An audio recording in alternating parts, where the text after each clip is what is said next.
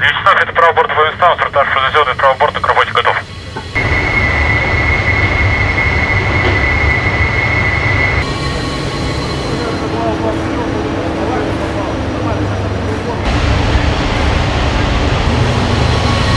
Через 5 минут поворот влево, на курс 30 градусов, поворот влево, навигационное шевеление в запасе.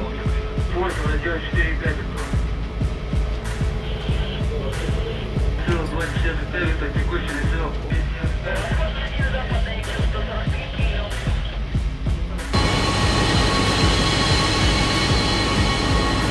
الله الرحمن الرحيم. بنرحب بيكم في حلقة جديدة من برنامجكم مع إبراهيم الشرقاوي. بريطانيا أو تحديدا ديفيد كاميرون كان في زياره النهارده لقلب كييف وفي اتفاق لمدة 100 سنة ما بين بريطانيا وما بين كييف وأعطى تصريح خطير جدا. روسيا بتهدد بناء عليه بيقول بيقول إن بريطانيا ستسمح لي أو بتسمح لأوكرانيا باستخدام الصواريخ بتاعتها والأسلحة بتاعتها لضرب أهداف داخل روسيا وروسيا بتهدد. أما الفيديو اللي حضرتك شفته في المقدمة ده السفينة الروسية الأميرال جولوفكو تجري إطلاق صواريخ في بحر برنتس اللي بريطانيا اتمنعت من الصيد فيه.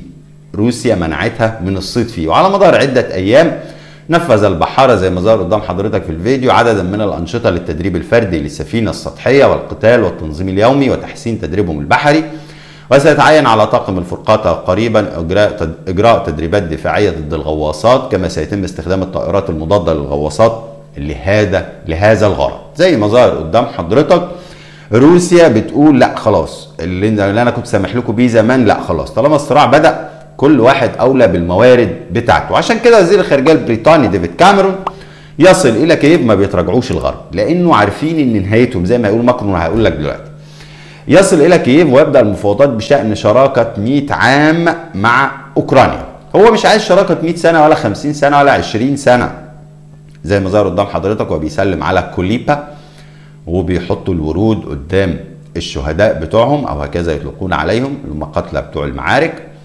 النصب التذكاري وديفيد كاميرون هيتكلم و و ديفيد كاميرون بقى وهو بيتكلم ورويترز طلعت الخبر ورجعت سحبته. سمح وزير الخارجية البريطاني ديفيد كاميرون لأوكرانيا باستخدام الأسلحة البريطانية لضرب أهداف داخل الأراضي الروسية. ده تصريح خطير جدا. عشان كده صرحوا وسحبوا. بيعملوا test يعني. وذكر التقرير أن كاميرون قال إن لأوكرانيا الحق في استخدام الأسلحة التي قدمتها لندن لضرب أهداف داخل روسيا وأن الأمر متروك لكييف لتقرير ما إذا كانت ستفعل ذلك أم لا. مع إن ده أصلا مش مش متعارف عليه. ما دام ده اديت سلاح يبقى تمنع زي ما هجيب لك في الحلقة القادمة لأولاف شولتس وهو بيسخر من زيلينسكي. انت كل شوية عايز توروس عايز توروس عايز توروس عايز توروس هو عايز يدخلكم الحرب. فبريطانيا بتعمل test كده. تشير وسائل الإعلام الأوكرانية إلى حقيقة مثيرة للاهتمام وهي أن المقابلة مع كاميرون جرت بالقرب من كاتدرائية سانت مايكل حيث قام جهاز الأمن الأوكراني في السابق عملوا عملية تفتيش وخايفين من الاغتيال بتاع مين؟ ديفيد كاميرون. وزير الخارجية البريطاني ديفيد كاميرون أوكرانيا لها الحق في ضرب الأراضي الروسية بالأسلحة البريطانية. الكريملين على طول قال تصريحات بريطانيا حول حول إرسال اسلحه لاوكرانيا يمكنها تهديد روسيا ده تصعيد مباشر. موسكو للغرب بقى بيوجه رسالة مباشرة لكل الغرب ابقوا بعيدين عن شبه جزيرة القرم. خارج روسيا أي إعمال أي أعمال عدوانية من قبل الناتو في شبه جزيرة القرم محكوم عليها بالفشل وستواجه بالانتقام الفوري والرد السريع. هم فاهمين إن مش الأهداف إنه يضرب آه موسكو ولا يضرب الكريملين ولا ولا ولا لا لا. هم فاهمين إن القصة كلها شبه جزيرة القرم عشان يسيطروا على البحر الأسود.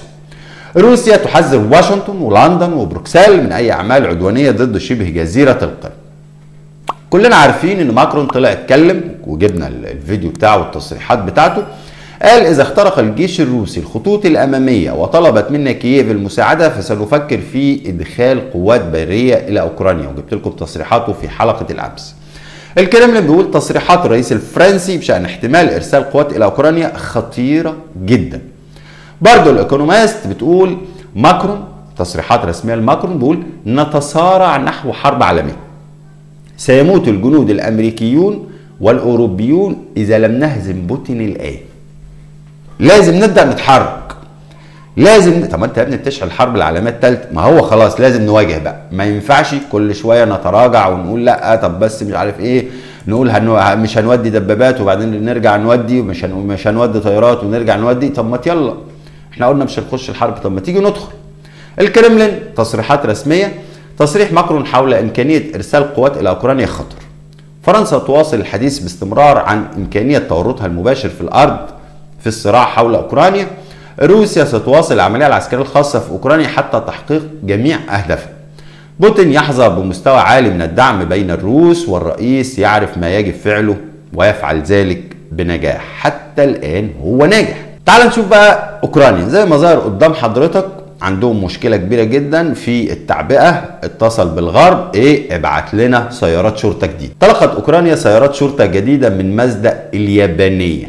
من اليابان. ما تنساش إن مين؟ إن بايدن قلت لك في تصريحات الأمس أو في حلقات الأمس هو بيصرح وقال إيه؟ إن آه اليابان دولة كارهة للأجانب. دي هتعمل مشاكل كبيرة جدا زي ما قالت الفاينانشال تايمز النهارده. طيب ده بيبعت سيارات عايز سيارات شرطة عشان يقبض على الناس عشان يدخلهم الجيش بالعافية أو يوديهم الجبهة بالعافية. بص الروس بقى. رتل من الدبابات الروسية الجديدة يتجه إلى خطوط الجبهة. بص ده بيجيب إيه وده بيجيب إيه؟ عشان تعرف مين اللي هينتصر. عشان تعرف مين اللي هينتصر. زي ما ظهر قدام حضرتك واضح جدا إن في شبكة حماية فوق من الطائرات المسيرة برضه. زي ما حضرتك شايف والدبابات محملة على القطارات للجبهة مباشرة. زي ما حضرتك شايف. واحد بيجيب إيه عشان يقبض على المواطنين في الشارع الرجال كلهم وحتى النساء وحتى الحوامل. واحد تاني بيبعت دبابات. شويغو مقتل 111 ألف عسكري أوكراني منذ بداية العام فقط يعني في الأربع شهور اللي فاتوا. القوات الروسية وزير الدفاع الروسي سيرجي شويغو القوات الروسية تواصل اختراق منظومة معاقل القوات الأوكرانية على طول خط المواجهة القتالي بأكمله.